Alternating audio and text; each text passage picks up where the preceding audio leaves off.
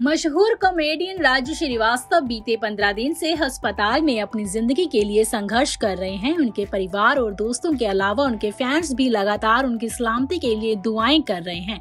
हर कोई अपने चहेते सितारे के जल्द वापस लौटने का इंतज़ार करता है। इसी बीच अब कॉमेडियन से जुड़ी एक बड़ी खबर सामने आई है। जी हाँ राजू के फैंस और उनकी दुआओं का असर होते दिख रहा है। हाल ही में मिली जानकारी के मुताबिक पंद्रह दिन बाद आखिरकार राजू श्रीवास्तव को होश आ चुका है।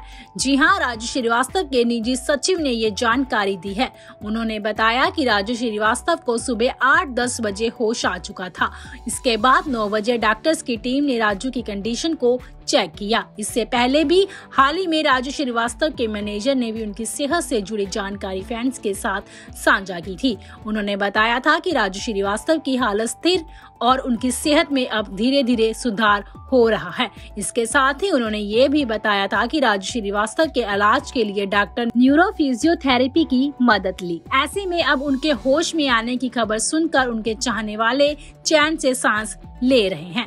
बता दें कि राजू श्रीवास्तव 10 अगस्त को जिम में वर्कआउट करते हुए अचानक बेहोश होकर गिर गए थे। इसके बाद उन्हें तुरंत अस्पताल में ले जाया गया था, जहाँ डॉक्टरों ने ये जानकारी दी कि उन्हें दिल का दौरा पड़ा। इसके बाद से ही उनका इलाज दिल्ली के अस्पताल में जारी है। इस दौरान उनकी सेहत में कई तरह के उतार चढ़ाव देखने को मिले। हालाँकि काफ़ी दिनों बाद राजू से जुड़ी कोई अच्छी खबर सामने आई है।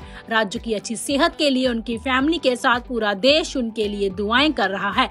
अब लग रहा है कि राजू के परिवार और उनके तमाम चाहने वालों की दुआएँ रंग ला रही हैं।